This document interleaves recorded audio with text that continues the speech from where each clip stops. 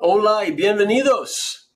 Bienvenidos y gracias. Gracias por estar conmigo. Soy Otis Landerholm aquí en Landerholm Immigration. Si usted está viendo eso, usted es cliente de mi firma y gracias por estar conmigo el día de hoy. Eso es la primera vez que estamos haciendo eso. Es una llamada gratis por nuestros clientes y, específicamente el tema de hoy es de casos de ajuste de estado. En nuestra firma, yo quiero y, y nosotros queremos que usted como nuestro cliente aproveche al máximo de su caso, de su tiempo con nuestra firma y que logre éxito en cada sentido de la palabra en su vida. Así que gracias por estar aquí, gracias por ser nuestro cliente. También yo quiero mandarle un regalito para agradecerle por haber venido. Voy a regalarle nuestros gorros, ¿ok? Immigrants are awesome. Inmigrantes son impresionantes. Así que por favor dame su nombre para que, uh, para que podamos mandarle ese, ese pequeño uh, regalito. Hoy nuestro tema es el Green Card, el ajuste de estado. Y quiero hoy explicar un poco la ley, presentar y explicar un poco el proceso y los procedimientos de los tiempos de proceso con USCIS y luego quiero abrirlo para contestar sus preguntas. Y antes de que vamos con la ley, quiero también explicar, discutir un poco el problema, la dificultad la amenaza. La pregunta es si usted conoce cuál es el problema. La administración de Biden ha hecho algunos cambios. Hay más residencias, hay más tarjetas verdes que han sido aprobados ahora en el 2022 que en cualquier de los años de la administración de Trump. Pero en realidad la administración de Biden completamente ha perdido de unir el Congreso. El Congreso estadounidense no se ponen de acuerdo nunca de nada. Por lo tanto, han fracasado aprobar una reforma nueva, algo útil para la ley de inmigración para inmigrantes aquí en Estados Unidos. Además, hay sentimiento anti-inmigrante que está en muchos lugares. Además, el señor Trump podría reganar la presidencia y yo espero que no. Eso es el problema. Yo quiero cambiar la mente, la corazón de otras personas allí afuera que no están escuchándome hoy. ¿Cómo podemos cambiar la mente, la corazón de personas que están en nuestra contra. Pues le voy a contar mi estrategia de cómo cambiar la mentalidad de ellos. Para mí, la manera para cambiar sus mentes, sus corazones, es si nosotros y cada inmigrante que ellos contacten en su vida es una persona, sea una persona exitosa.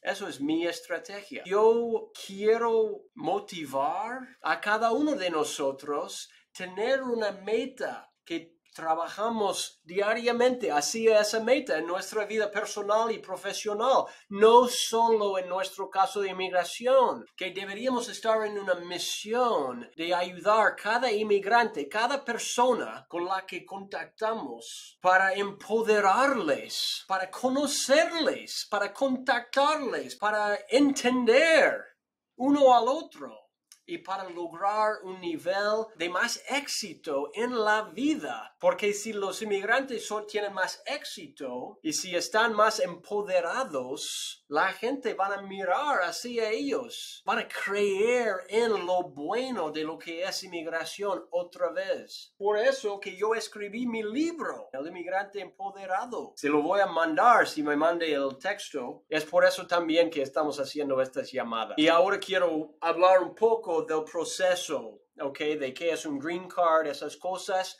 Y, algunos hechos para comenzar. ¿Usted sabía que el USCIS ha aprobado 240.378 aplicaciones del ajuste de estado ahora en este año, en el 2022. Y eso es aproximadamente al mismo nivel de antes de COVID y está haciendo más rápido.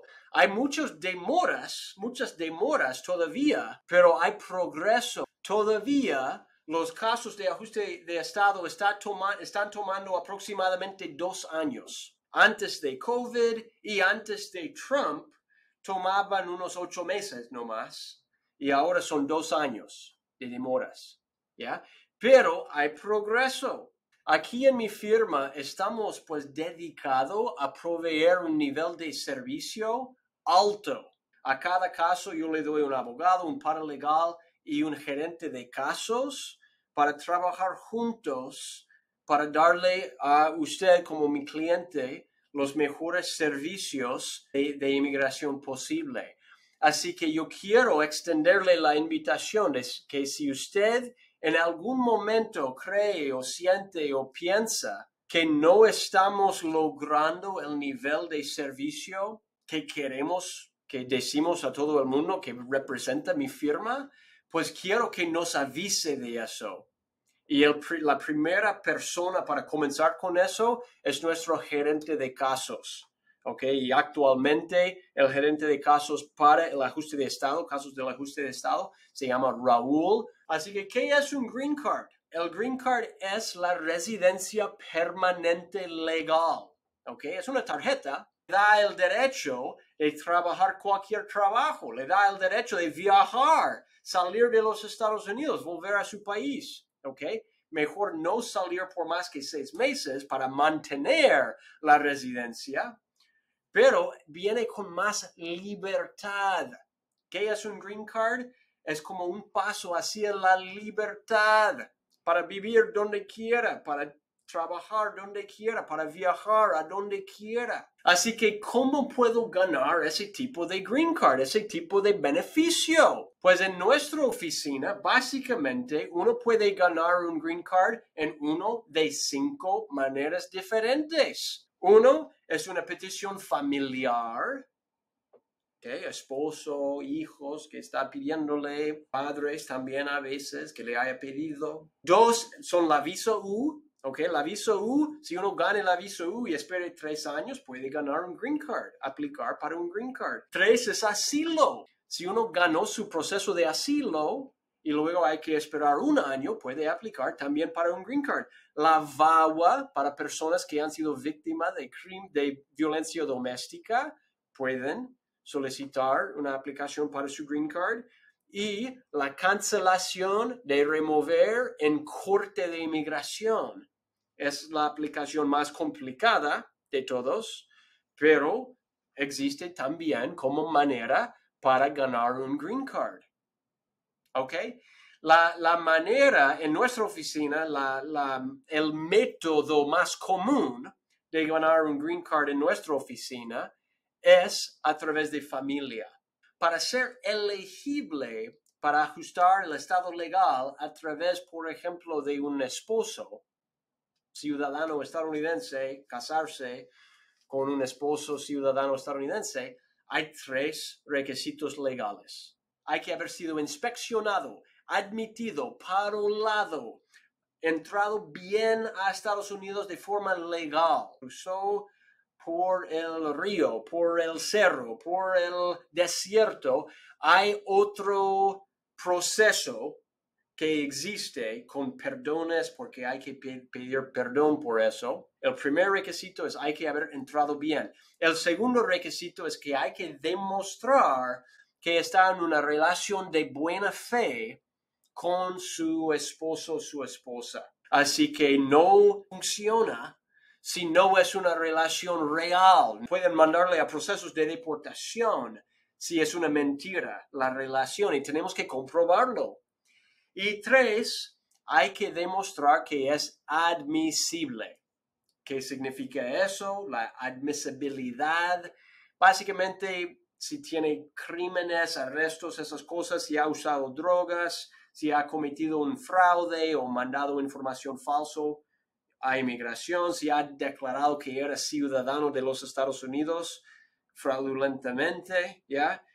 si ha ayudado a otra persona a ingresar ilegalmente a Estados Unidos, hay más también, hay muchas preguntas y, podemos examinar eso y si es cliente nuestro y si estamos en ese proceso, ya lo hemos hecho, pero es por eso, para poder calificar bajo la ley con esos tres requisitos legales. Y si uno no es elegible para ajustar su estado, a veces hay otros procesos a través del consulado americano en su país, a veces con un perdón o a veces hay otras opciones. Así que eso básicamente es todo. Eso básicamente es todo. Todo el proceso, comenzamos, mandamos el paquete, puede recibir un permiso de trabajo durante el proceso que normalmente viene en unos 5 a 7 meses. Luego también pueden aplicar para un permiso de viaje durante el proceso, luego la entrevista y luego el green card.